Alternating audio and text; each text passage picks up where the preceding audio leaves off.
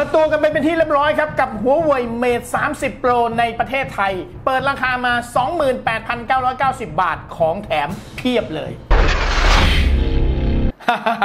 แค่พาดหัวข่าวก็จะจบแล้วนะครับ คือเนื้อหาไม่ได้มีอะไรเยอะไปกว่านั้นเลยนะครับหัวเว่ยประเทศไทยครับ เปิดตัวประกาศเปิดตัวเมท30 Pro อย่างเป็นทางการเรียบร้อยนะครับ สเปคก็อย่างที่ทราบกันนะครับ เพราะว่าเปิดตัวมาสักพักหนึ่งแล้ว ได้มีคนพูดถึงกันไปเยอะแล้ว สิ่งที่ทุกคนห่วงก็คือ พอไม่มี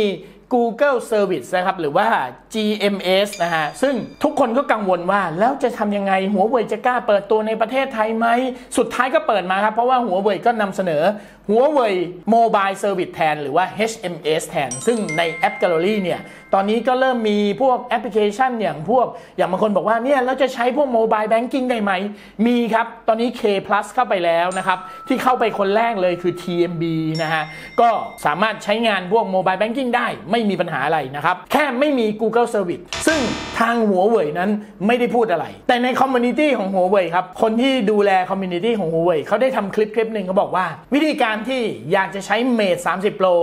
ให้มี Google Service ง่าย ๆ เลย ลงทำคลิปเป็น YouTube อธิบายวิธีการทำถ้าใครสนใจนะฮะเดี๋ยวผมจะแปะลิงก์ไว้ด้านล่างให้ดูกันนะครับว่า มันทำได้เลย หลายคนกังวลว่าเอา้าถ้าเราทำแบบนี้มันก็เท่ากับผิดกฎ Google แล้วใช้ใช้ไปมือถือตัวนี้จะโดนแบนทำให้ไม่สามารถใช้งานได้หรือเปล่านะครับ มันมีเหตุผลข้อหนึ่งที่เขาตอบมาในคลิปนั้นเขาบอกว่าสิ่งที่มันเป็นข้อขัดแย้งกัน ก็คือสหรัฐอเมริกากับหัวเว่ย Google เป็นบริษัทในสหรัฐต้องปฏิบัติตามคำสั่งของประเทศใช่ไหมฮะก็ต้องแบนหัวเว่ยไม่ให้ใช้ แต่พอเราซื้อมือถืออย่างเมท30 Pro มาแล้ว อยู่ในมือเราแล้ว มือถือตัวนั้นเป็นกรรมสิทธิ์ของเราครับ แล้วเราไม่ได้มีปัญหากับสหรัฐอเมริกา เราเราท่านท่านเนี่ยเป็นประชาชนประเทศไหนก็ไม่รู้ เราสามารถไปลง GMS แล้วใช้เองได้ แค่เราไม่ถูกตรงที่ว่า เราไม่ได้จ่ายค่าลิขสิทธิ์ของ Google Service ของเขาโดยตรง แต่เรามีสิทธิ์ลงแล้วใช้งานได้ เพราะเราก็เป็นยูเซอร์ Google คนหนึ่งเหมือนกัน เพราะฉะนั้น Google จะไม่มีสิทธิ์มาแบนเครื่องเราครับ ถามว่าแบนได้ไหมแบนได้ แต่เขาไม่ทำเพราะว่าเราไม่ได้มีปัญหาขัดแย้งกับเขาอ่าเพราะฉะนั้นคนที่ซื้อเมท30 Pro ไป ถามว่าอยากใช้ Google Service ทำได้ไหม ก็ทำตามขั้นตอนที่เขาแนะนำมา ถึงแม้จะไม่ถูกต้องนักแต่คุณก็ได้ใช้นะฮะอันนี้ผมพูดตามตรงนะครับเปิดราคามา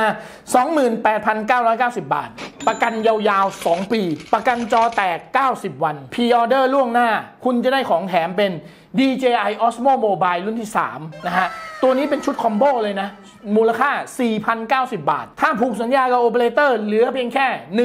18,990 บาท จองล่วงหน้าได้ Osmo Mobile 3 เหมือนกัน จองวันนี้จนถึง 3 พฤศจิกายน ขายจริง 7 พฤศจิกายนนี้ โอ้โห งานนี้ต้องวัดใจกันครับ เพราะว่าตัวเมท30 Pro เนี่ย เป็นมือถือที่มีประสิทธิภาพของกล้องที่ดีมาก ๆ กับราคาที่เปิดมาถือว่าถูกลงจากรุ่นเดิมนะ จาก P 30 Pro เนี่ยถือว่าถูกลง แต่ก็ถูกลงไม่มาก หลายคนคาดหวังว่าจะถูกกว่านี้นะฮะจะให้เท่าราคาเมืองจีนเลย ผมว่าก็เกินไป ลองดูครับ ถ้าใครอยากจะใช้อยากจะได้ประสิทธิภาพของเขาจริง ๆ ก็ต้องลองใช้ดูนะฮะ กับอีกข่าวหนึ่งของหัวเว่ยผมต่อด้วยเลยนะครับ Mate X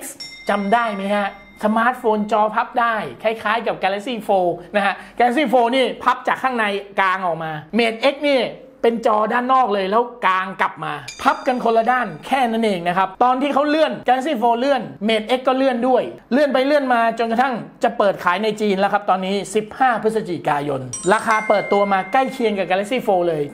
73,000 บาท ห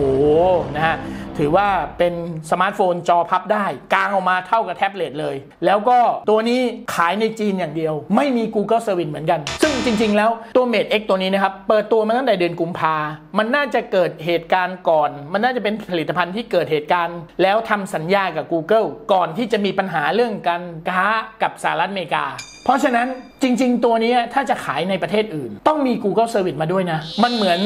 Nova 5 ที่ทำไว้ก่อนอะ Nova 5นะเฉียดฉิวมาก Nova 5เนี่ยทำเสร็จแล้วทำสัญญากับ Google ในช่วงเดือนพฤษภาคม แล้วพอมาขายก็ยังมี Google Service ปกติได้ แต่ตัวนี้มาตั้งแต่เดือนกุมภาเพราะฉะนั้นถ้า Mate X จะขายในประเทศอื่นๆนะครับก็น่าจะมี Google Service ได้ แต่ว่าตอนแรกเนี่ยเขาเปิดขายในประเทศจีนอย่างเดียวก่อน แล้วก็มี 5G มาด้วยนะครับ ราคา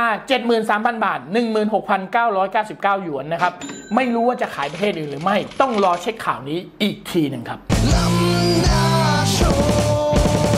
ดูแล้วเป็นชอบไหมกดไลค์ กดแชร์ กด subscribe